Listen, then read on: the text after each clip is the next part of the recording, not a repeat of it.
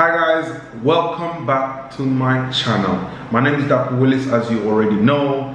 Uh, first of all, I'd like to thank you guys for watching my previous videos. Now we've been racking up some serious views on the trader psychology uh, video. Uh, thanks to all my 700 subscribers for supporting those three videos. Now, those three videos basically talk about um, all the traps and pitfalls that most traders uh, run into, you know, when they're just getting into the market. So I thought that I owed you guys the responsibility of telling you guys all the traps that you might most likely face when you're going to start trading the FX market. And for people who are already facing those things, I also provided solutions for you guys as well. So ensure to check my three-part video series on trader psychology. Uh, it's really going to help you guys because every trader falls into one of those traps. Every single one, even myself. You notice when you watch those videos, you notice that uh, I was speaking based on personal experience. Okay guys, so those stories were actually very dear to me and I thought that I shared those videos with you guys. Anyways, moving forward, the purpose of today is trader talk, trader analysis. So I want to be breaking down the charts for you guys and basically telling you guys my thought process behind the trades that I'm going to be taking this week. Okay, so I have three very interesting pairs I'm going to be going over. First is GBP USD, secondly Euro USD, and the last but not the least is US dollar against the Canadian dollar. So if you guys hop into my charts, I'm going to be giving you guys some really juicy analysis that you can take home and profit from as well. So alright guys, follow me and go hop, hop, hop, hop. Alright guys, so what we do have in front of us right here is the GBP US dollar. Um, first things first, I'd like to first of all go over my previous trades that I had on this pair. Uh, GBP USD, I think, mm, not quite certain, but I think I was long this pair somewhere about here. Yeah, I caught the entire GBP USD move to the upside. No, no, no, this was, no, my trade was somewhere about here. I'm just trying to remember where exactly I went long. Anyways, that, that being said, I mean, that trade is already in the past, so we can only move forward now, innit? So what's happening with GBPUSD at the moment? Now, I'll just explain to you what exactly is happening with pair. Now, if you come down to a weekly time frame, you would realize that we have what seems to be a head and shoulder pattern, okay? So you can see this is the left shoulder, this is the head, and this is the right shoulder. So usually what happens when the head and shoulder pattern forms is that we tend to have a reversal, okay? Head and shoulder is a reversal pattern. So anytime you see a head and shoulder on your chart, just know that the market is literally about to reverse. Now, the reason why I'm being very careful about this head and shoulder pattern is because the time frame is such a very high time frame, okay? Usually anything that happens on a higher time frame tends to stick. Basically, if you see a, a trend reversal pattern on a higher time frame, be rest assured that the probabilities of that um, the probabilities of that incident occurring is actually very high. So I'll take that again. If you see a trend reversal on a higher time frame, the possibility and the chances of that reversal actually happening is very, very, very high. So you always have to take that into consideration, okay? So I can see the left shoulder, I can see the head, and I can see the right shoulder. And what do I have in front of me right here? Actually, let me delete this right about here. Going to explain to you why I kept that. So what I do have in front of me right here is the neckline of the head and shoulder. Now, for those of you who are pretty much learning in the market, you know that once we take out this neckline, okay, once we break out of this neckline, we usually tend to rally all the way to the upside. So that is literally my thought process for GBP USD at the moment, okay? If we're able to break this region at 1.32760, we're literally going to head all the way, probably all the way to 1.3900, okay? But at the moment, if you come to the daily time frame, there's something stopping that from happening at the moment, okay? Which is this temporary level, as you can see. This level has acted as resistance several times from this, from here to here to here to here to even here and here. So, you know, we're currently testing 1.32706. Guys, now, so there are two scenarios that can happen with GBP USD at the moment, okay? Also, as you can see, this really nice trend line, the market has tested it once, twice, third time. We're currently holding on for dear life. We're currently holding on for dear life. So what can potentially happen is, one first case scenario is if we break this level, I'll take that again. If we break 1.3308, guys, we're heading all the way up to this blue zone because we have nothing in terms of resistance stopping us from heading here. If we break this level, we're coming here, okay? That would mean that the weekly head and shoulder has been fulfilled, okay? If we break this level, we're heading all the way to the upside. However, if we don't break this level and then we come in here, test here, because as you can see, this is still a strong level of resistance and we roll, okay, let me just show you. If we get here and then we start breaking all the way to the downside and then we roll over to the, this is what is that, what, this is what could happen. We could come in here, test this level and start heading all the way back to the downside. Or we could get here, break this level and then we can head all the way to the upside like this. So these are the, these are the two case scenarios for GBP USD. So I'm not exactly calling any trade at the moment for GBP USD. This is something that we need to sit back down and basically watch what happens within the next coming days. Okay, very important. Okay. So if we break this level, I take that again. If we break 1.33107, we're heading, we're going to take off all the way to the upside. But if we if 1.3307 holds and we start pushing all the way back to the downside and we take out this because this trend line is what's pretty much holding this market at the moment. And we take out this mark, we take out this trend line, ladies and gentlemen, we're coming to 1.2800. Okay, 1.2800 might be you know the downside target for GBP USD. I don't think this market is really going to do anything that crazy this week. We're probably just going to be ranging inside of this um, trend line support area, probably between here and here, maybe for the next three or four days. Uh, and once we do have a break, I will definitely be back on the charts to inform you guys. Or you can follow me on my Instagram page at I am Dapo because it's a lot easier for me to update you guys on my Instagram page because I just bring out my phone, bam, bam, bam, show you guys the chart, and then you know you guys know exactly what to do next. But this is just to show you guys the general outlook of the market, okay? So it's quite indecisive at the moment. It's looking like a 50-50 tank, 50-50 something, you get what I mean.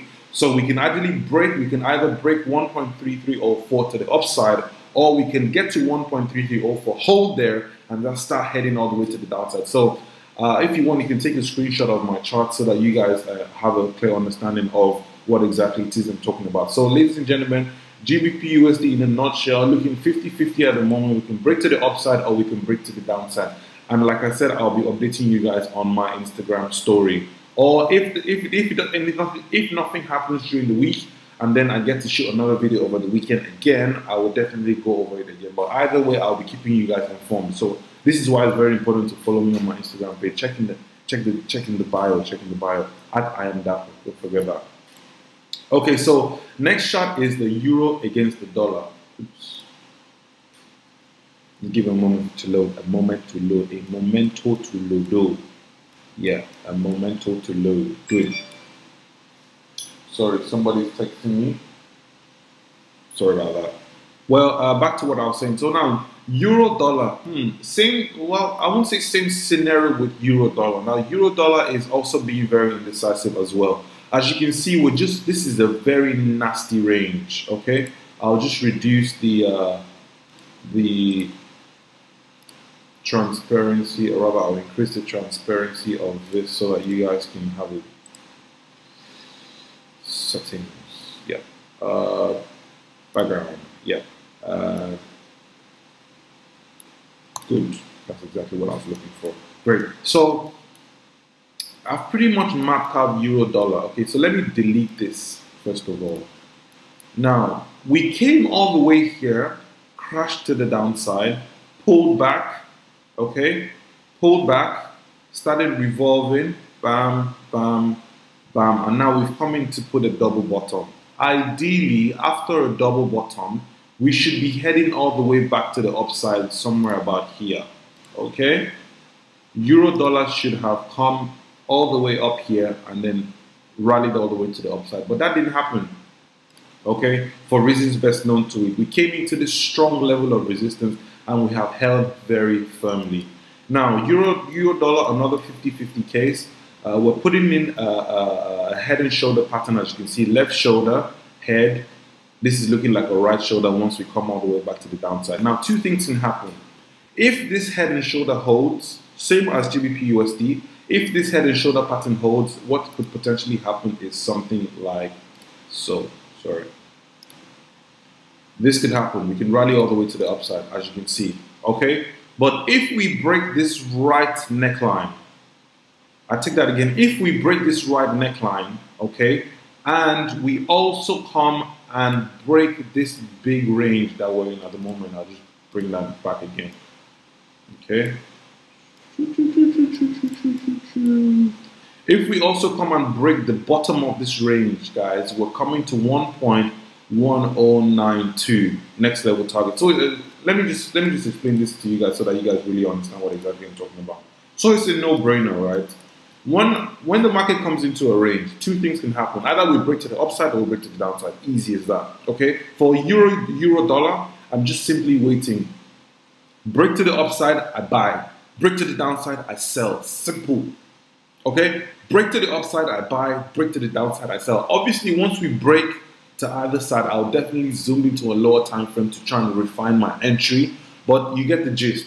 Once we break in either that, if we break to the upside, I'll be looking for buy opportunities basically.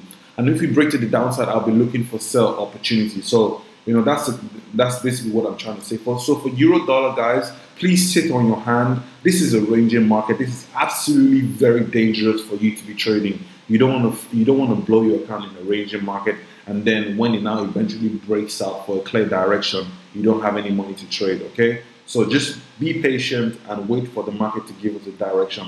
I don't mind not trading GBP USD and Euro dollar for a week just to ensure that the market is committing to me. Okay, it needs to commit to me that this and that I want to head in this direction, or I want to head in an upward direction, I want to head in a, in a downward direction. I don't like ranging markets. Okay, that's not my thing. So uh, last but not the least, I'll take you guys over to US dollar CAD, which is my favorite at the moment. I've actually bagged some decent pips on this market at the moment. Don't know why this is not loading. You Can get it on the screen. Now, uh, USD CAD, very, very, very, very clear scenario what exactly has been happening. As you can see, the market has been ranging higher highs, higher lows, higher highs, higher lows, higher highs, higher lows. We came into the trend line, okay? I brought up my Fibonacci, okay, from swing low to swing high. As you can see very clearly, we came into the Willis zone, bounced off the Willis zone, and we're currently looking at some upward direction, okay? Now, what happened was when we came back down into trend line, as you can see, I don't know why all the all the pairs are just currently giving us some head and shoulder. There's some head and shoulder frenzy going on in the forex market at the moment, but I like it because you know that's the chart pattern I'm really able to understand as a trader.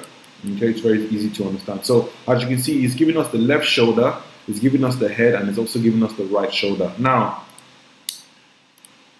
although we did kind of like spike below the shoulder a little bit, but you know, it's, it's still all right. So we spiked into this right shoulder, and then we started to head all the way to the upside. Now, there's a rule in FX trading, okay, like I explained to you guys on the GBP USD chart, right? When you have a head and shoulder pattern, right? Okay, I'll take that again. Left, head, right. This is the neck. Okay? This is the shoulder. Okay? This is the shoulder. This is the head. This is the right shoulder.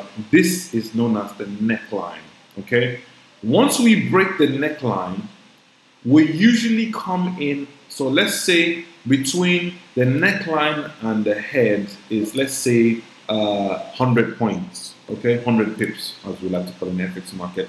When we break out of, so uh, this is actually some real newbie stuff, but I know some of you guys are pretty much new to the market and I need to explain this to you guys. So just vibe with me, okay, little by little, okay?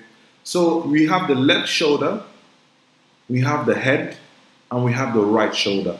Now the distance between the neckline and the head when the market breaks that neckline to continue, because usually when we when when we have a head and shoulder pattern is a reversal for the market to start heading up. Okay, when we indeed start heading up, the distance between the neckline and the shoulder is the same distance that the market is going to cover all the way to the upside. That's what I'm trying to explain. Okay, so whether you like it or not, the market doing the head and shoulder is a range. So once we break out of this range, down, down, down, down, down, once we break out of it, okay, so from here to here will be the same distance as from here to where the market is going to head into. Okay, so I'll, I'll explain that to you in real life terms. So as you can see, this market has finally broken out of the neckline. All I'm trying to say is that this market is going to head from here to here because it needs to cover the same distance it has covered inside of the range, inside of the head and shoulder pattern. Okay, it's like a can. Okay, when you have when you heat up a can of be water or whatever it is, and you can see the molecules really vigorously moving around.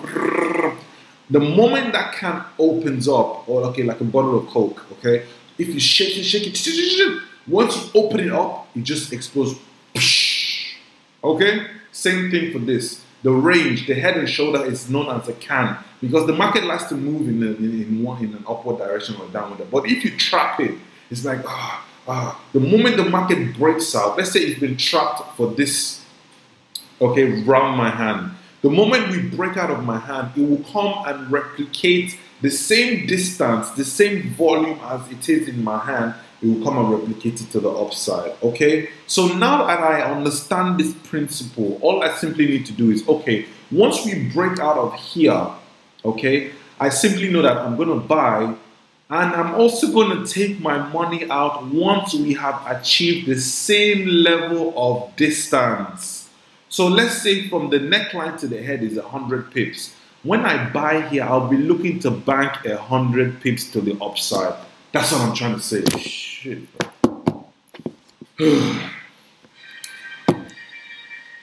Sorry guys, Sky News is updating me what's happening with Brexit. I'll get over to Brexit in a couple of more videos to come. Anyways, it's been long. This is 15 minutes already. I need to wrap this up. So ladies and gentlemen, yeah, so that's what ha happening with USD CAD. So we broke the neckline. We've come back to test it. And then I looked for a nice buy opportunity. I'm actually, I actually bought somewhere around here.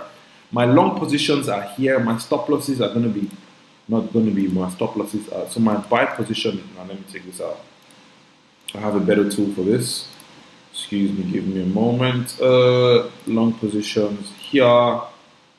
Stop losses come beneath here. And my take profit, remember my take profit needs to be the same length as this about here. My take profit is here.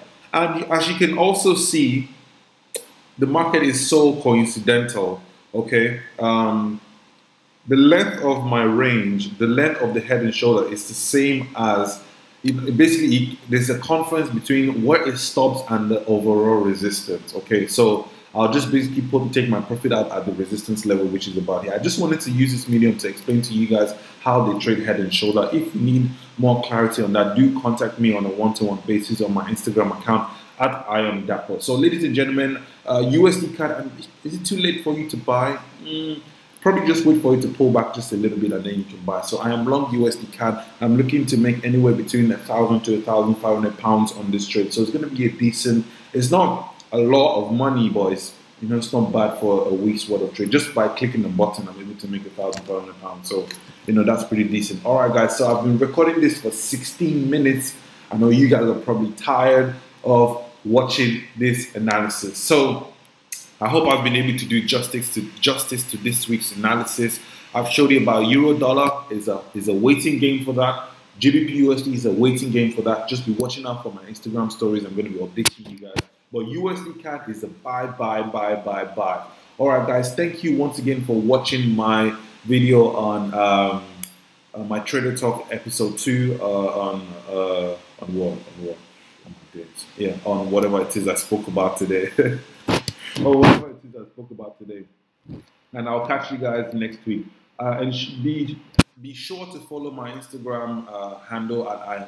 Very important. That's why I usually always update my stuff. Please subscribe to my channel. That's how I'm able to grow this channel, so that I know that you guys are really interested in this stuff. Now, I also know that not a lot of people are really talking about the behind the scenes about FX trading and all that. So I'm trying to literally build a community. So tell your friends about this channel I'm really dedicated to this stuff. This is my passion. I love to talk about the market. It comes second nature to me. So please subscribe and please like my video so that it goes viral or so that more people get to see it and so on and so forth. All right, guys. Thank you very much for watching once again. My name is I. My name is Dapo Willis. Don't forget to follow my Instagram handle. Um, goodbye and God bless you guys.